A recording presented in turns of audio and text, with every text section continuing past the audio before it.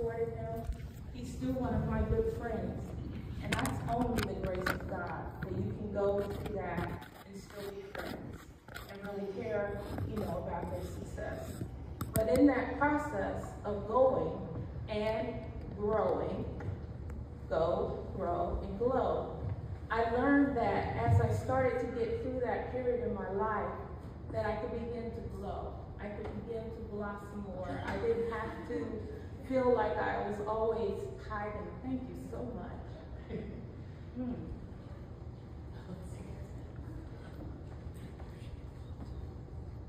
I feel like I didn't have to hide anymore. And a little bit about my background, I grew up working class poor. So we didn't have a lot. Anytime I wanted something, it was always, well, we'll try to get that later. We'll try to get that later. So you always have rich taste. You, you know, you can't have that. So I learned how to do things myself. When I was going to college, I didn't have money for clothes. I had worked a year, they call it now a gap year. I had a gap year because I didn't get the application filled out in time and I wasn't sure where I was gonna go to school. So I had $100. $100 back then didn't even buy very many clothes. You didn't have all the discount places like now. So I went to the fabric store. Hadn't really sewn but a little. And I took my $100 and I bought fabric and patterns. I didn't want the jiffy stuff. I took all the stuff that people were wearing in. I brought home all these plaids and stripes and checks and complicated things. And I got home and I go, girl, what was you thinking? And one of my aunts who worked in the garment district, she came over and gave me a few tips and she left. I remember sitting at that, at that uh, sewing machine and I prayed. I said, God, I don't even know what I'm doing, but I did it. I did it. And so for years, when I didn't have money, I took that $100 and I sewed my own clothes. Um, I used to, I had internships, I didn't have clothes. I, I would uh, get fabric from the Goodwill sometimes. I'd make a suit. I had a briefcase. I always looked like a million bucks. I didn't have no money, but I looked good. And so in that process, I'm telling you that story. So later, even though I continued sewing out of necessity, even when my son, and when it was just the two of us, I was still able to sew and look fashionable and, and be able to blend in. And a lot of times people didn't know what I didn't have. And I think the glow part comes in learning how to, it's not that you are being fake, but you learn to take things to God. And then when you enter out into the world, you know, I encourage women, you know, the, the single women and the married women, take time out for yourself. Do what makes you feel good. If it's that red lipstick, it's that certain kind of shoe, that certain fragrance, that soap, that lotion, whatever. Do whatever it is to make you, when you go out in the world, a glow. And so if you look at me today, you probably say, oh, that doesn't even sound so sad what I'm telling you now. But what I want to tell you is, when I went through that period when I would just crown the weekends, and then I went through a, probably a season of about six or seven years, I never cried because crying was a luxury. I couldn't afford to break down. I had to be strong. And today, I can tell you that I can cry. When I cry now, it's not tears of sadness. All I have to do is think about the grace of God. So, as I got older, and I look at my life now and I thought, this isn't where I thought I would be. I didn't think I'd be single at this age. Um, I thought I'd be married, getting ready to retire and pursue my second career in design. But here I am, still working, still hustling, still grinding, but I'm excited about it. I want to go back to school. I want to, I still have things I want to learn. Um, but what I wanted to say is, but what makes me cry today is just the trust that I have in God. I, if I'm in my home, I could have been laughing, like something hilarious on TV, because sometimes I think the whole world was created just to make me laugh, because I can find humor in anything. If I stop and think about, I'm in this home. I shouldn't have this home. I've, I've had job loss uh, since my divorce, when I was making it on my own. I've had struggles. I've had setbacks. I've had career changes. But I've learned in those situations to trust God.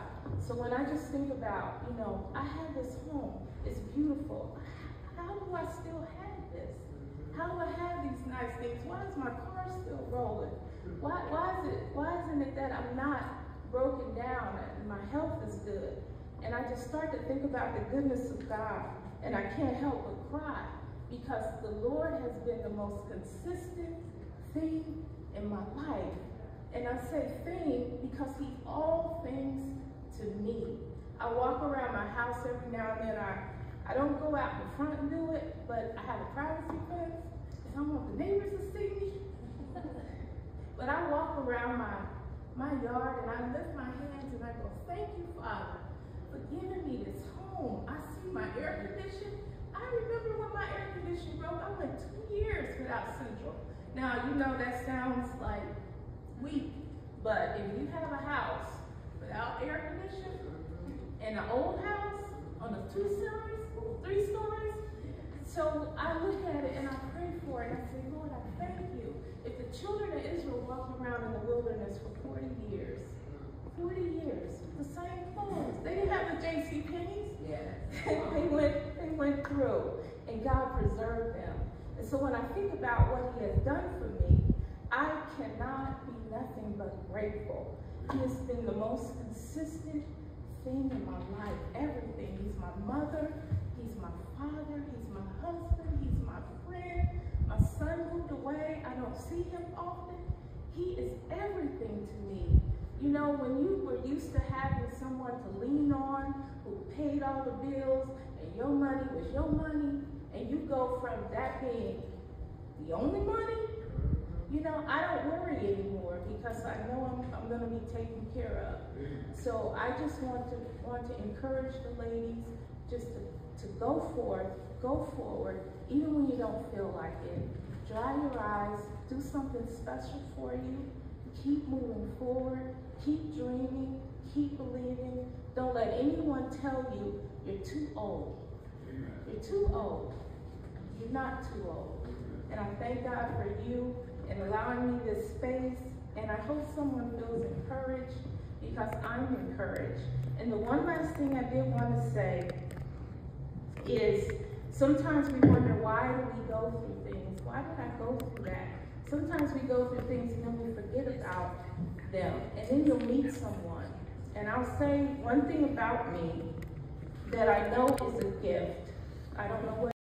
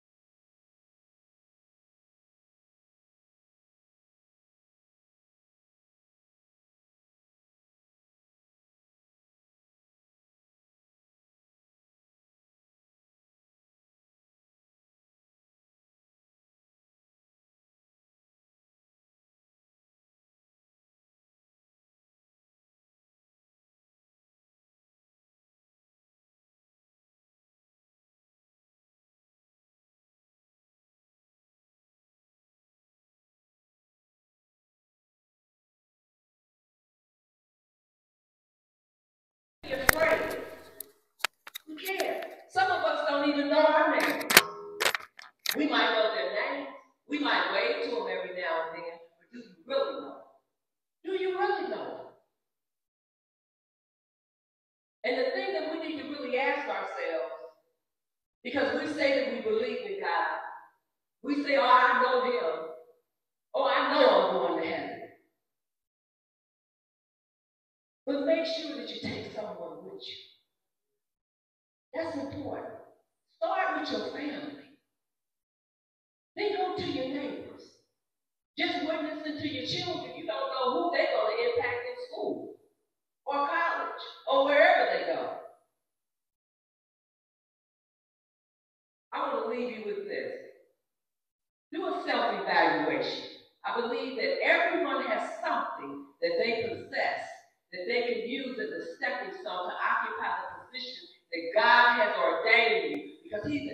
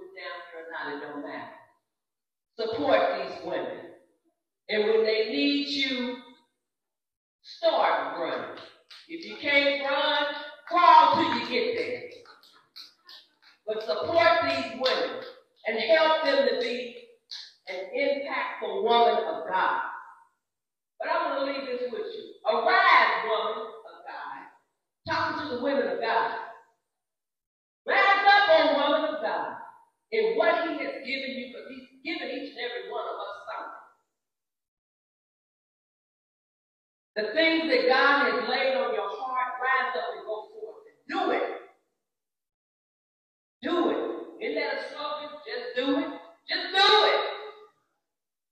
Unlock what God has placed within you, the potential you have inside.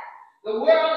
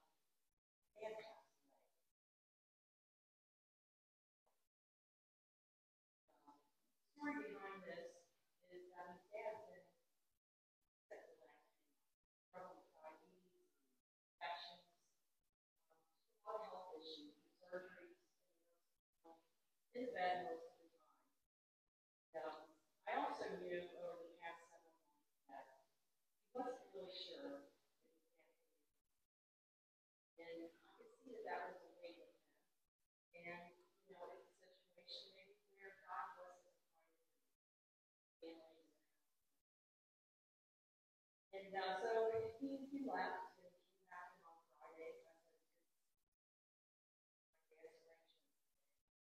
Talk a little bit about that and kind of share what was going on and you know how it happened. And began away. And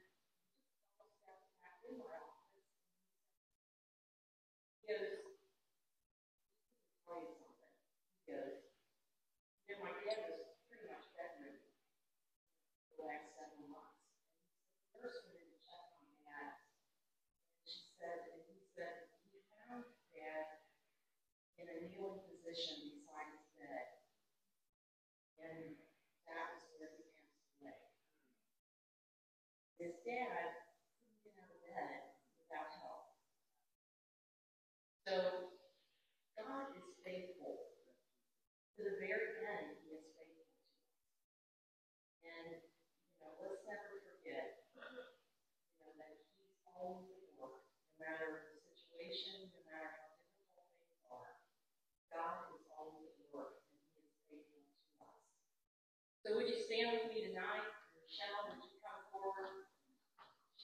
graciously agreed to be a prayer partner during our invitation time tonight. And my challenge to you is if you have a need,